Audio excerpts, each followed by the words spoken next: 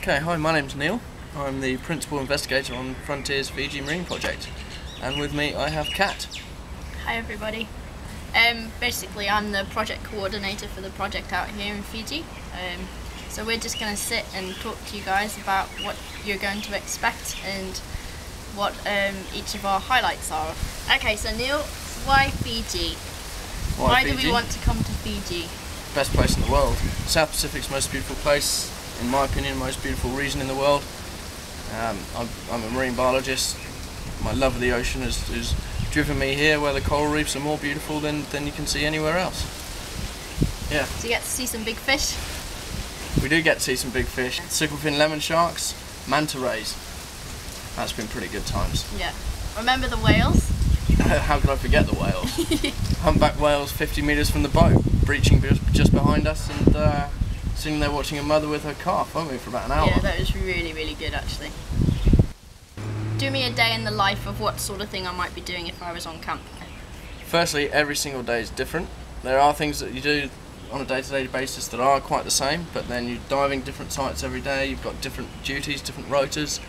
Um, What things, sort of duties do we have? What sort of duties? Okay, so we have cooking rotas. Um, so we cook on an open campfire, um, and uh, we have uh, a roster so that everybody cooks the meals for the whole camp um, you know, on a day, daily basis, or however many people we've got. Then you know, we have have cooking teams and camp duties teams. So we have to rake all of our paths because leaves come down in the night.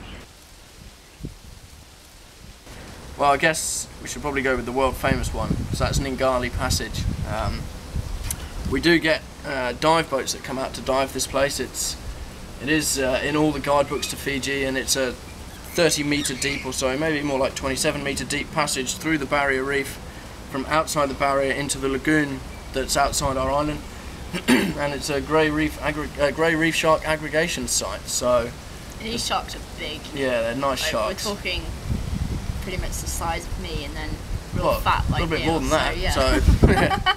10, 10 feet, something like that. Rachel, George, and uh, Sarah will be pretty annoyed if we didn't mention Stingray City. yeah. Uh, it's a site that we just stumbled across. I mean, we did a, did a 50 metre transect and we had 13, 13 stingrays, blue spotted stingrays, and uh, and the biggest grey reef shark that I've ever seen just cruised in. Um, I actually thought it was a bull shark until it turned sideways, and it was that big. So that was just uh, just astonishing. Um, I mean, this this truck that you can hear behind us. We're not on the island right now. We're in beautiful Suva. Uh, on the island, you don't hear any traffic or anything like that. So, um, and the best snorkeling's got to be in now Nawaiwai Dranu Bay, isn't it? Yeah, that's amazing. Which is uh, better known as Manta Bay. Well, we call it Manta Bay because we see manta rays in the bay. People call it Manta Ray Bay now though. Yeah. Yeah, so we normally try and get down there once every week or so, maybe once every couple of weeks if the mantas are around so we can have a bit of a snorkel with those. Again, every time I see them, I'm just absolutely astonished by the size of them. Ah, well, uh, you'll be living in traditional Fijian bures. Um, so, uh, very, very simple. Thatched roofs, um, just op- open really. Um, Big they, have, spiders, they have, yeah, big spiders, geckos, geckos, stinks, skinks. Yeah, Crabs, beautiful. land Lots of big land crabs. Make sure you keep your stuff off the ground or land crabs will steal it. 20, 20 feet from the sea at high tide, something like that. About 20 feet from the sea at high tide, and just with the bush just behind you, so it's always a competition between the sounds of the waves and the sounds coming from the bush at night.